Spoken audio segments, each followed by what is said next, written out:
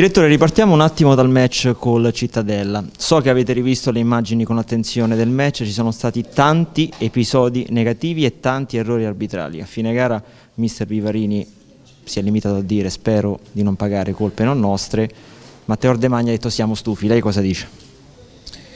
Io ho molto rispetto della classe arbitrale perché fanno un lavoro difficile, sono molto sotto pressione però tendono anche molto spesso a complicarsi la vita perché eh, Gersini sabato è stato il protagonista assoluto del match e un arbitro non dovrebbe mai esserlo. Mm, ha sbagliato negli episodi perché poi le immagini hanno confermato ciò e purtroppo ha condizionato il risultato della partita.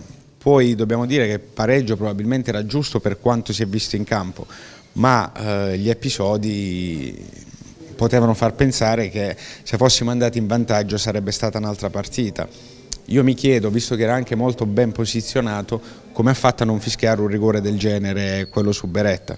La sfortuna ha voluto che nell'azione eh, nell seguente il Cittadella ha fatto gol, quindi lì ha condizionato la partita. Chiediamo più attenzione e meno protagonismo, poi sbagliano loro, sbagliamo noi, sbagliano tutti però l'arbitro deve essere giudice e basta, non protagonista. E negli ultimi arbitraggi insomma, non, non, sempre possiamo dire che è avvenuto ciò.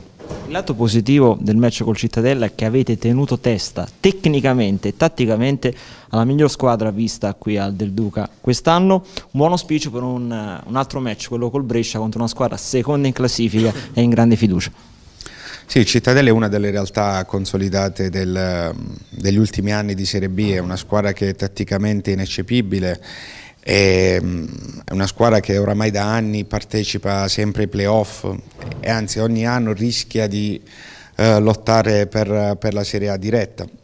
Abbiamo fatto una buona partita, eh, sia dal punto di vista qualitativo che dal punto di vista di, di attenzione dal punto di vista tattico e senza, anche a livello qualitativo è stato buono senza il nostro uomo di maggior qualità, quindi è stata una risposta importante che ha dato la squadra e questa è la, squadra, la, la strada da, da, perseguire. E adesso arriva il Brescia che non è un avversario molto semplice da affrontare.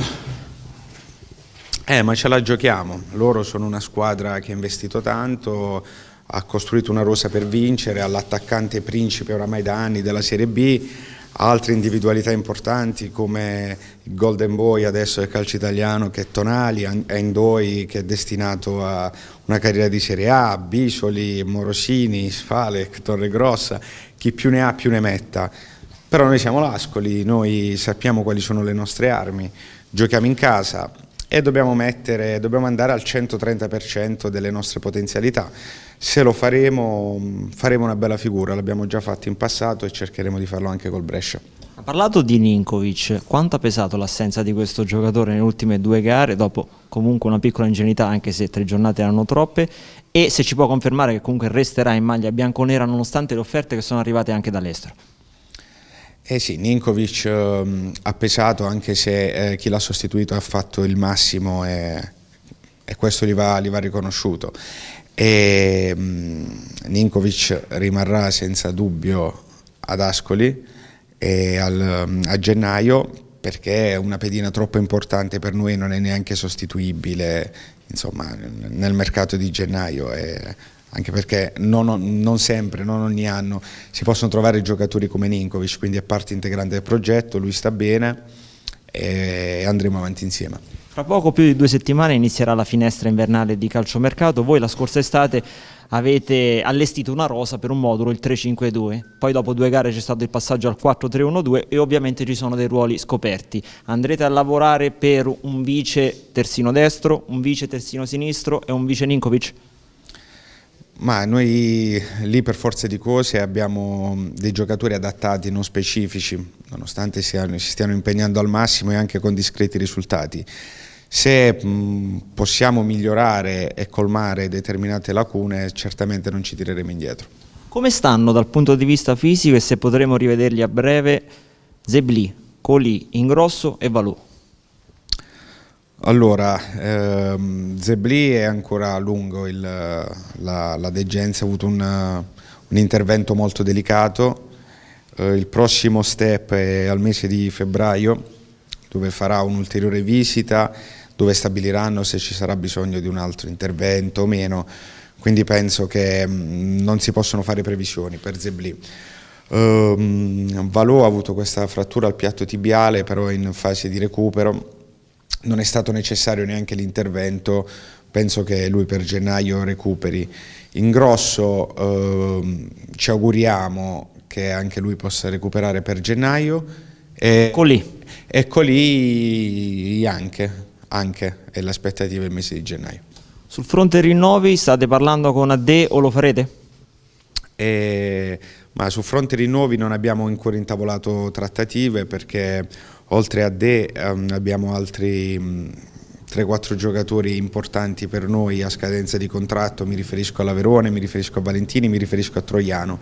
E quindi abbiamo ritenuto opportuno eh, durante il, questa prima fase di campionato non intavolare trattative per non distogliere l'attenzione su quello che è l'obiettivo principale, che è l'obiettivo campo, anche perché questo è un campionato irto di difficoltà, è la Serie B più difficile di tutti i tempi, questa Serie B ha 19 squadre, quindi se Mm, non ci si può distrarre perché sennò si rischia grossissimo. Penso che durante la, il riposo, questa finestra, qualche discorso sarà affrontato. Le ultime due che riguardano il mercato, sul fronte portieri si va avanti con questa attuale gerarchia, Lanni, poi Perucchini, Baci, all'occorrenza Scevola? Eh, il campo in questo momento sta dicendo questo e quindi si va avanti così. E non ci saranno movimenti sul fronte portieri?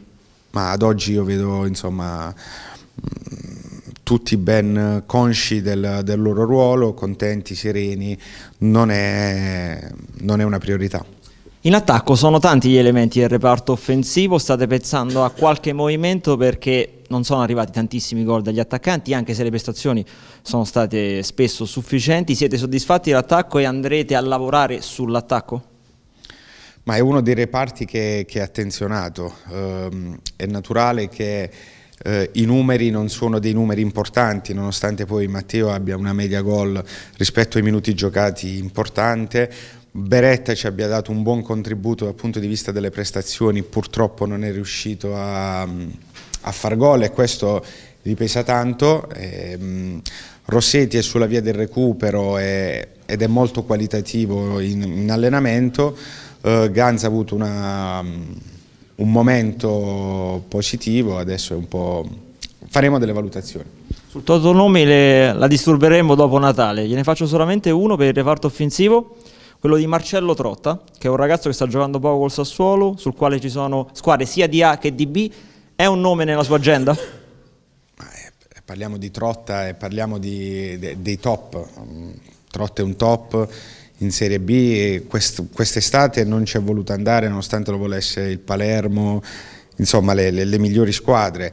Se mi chiedi se c'è gradimento per Trotta ti dico di sì, ma ti direi di sì se mi dicessi gli altri tre di, di Donnarumma o i Bomber Principi. Poi sulla fattibilità eh, di determinate operazioni oggi non, non, possiamo, non possiamo, saperlo. E, Vedremo poi i budget che avremo a disposizione per fare il mercato perché non, non abbiamo ancora affrontato questo tipo di, di, discorso, vedremo anche la posizione di classifica perché queste sono tre partite determinanti per capire di che morte dobbiamo morire sperando di rimanere vivi, quindi è, è ancora un po' presto per individuare l'obiettivo.